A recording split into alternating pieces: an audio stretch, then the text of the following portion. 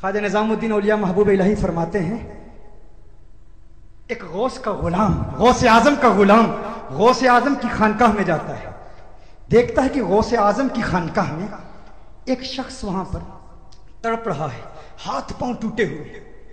تو غوث اعظم سے عرض کرتا ہے ہے غوث اعظم، آپ کی بارگاہ میں آیا ہے، ہاتھ پاؤں ٹوٹے ہوئے ہیں، بڑی بری حالت میں ہے اسے کیا ہوا؟ اس کی مدد فرمائیے۔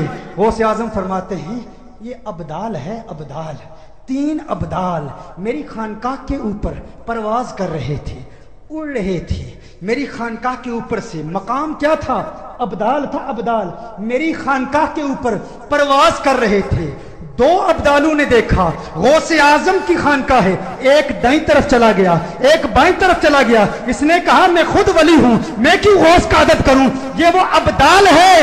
وہاں سے گرا میری خانقاہ میں۔ ہاتھ پاؤں ٹوٹے ہوئے ہیں۔ میں کہتا ہوں، اڑنے والا ابدال غوث کی توہین کرے۔ اس کی یہ حالت ہے۔ زمین میں رینگنے والے کیڑے تو گستاخی کرے گا۔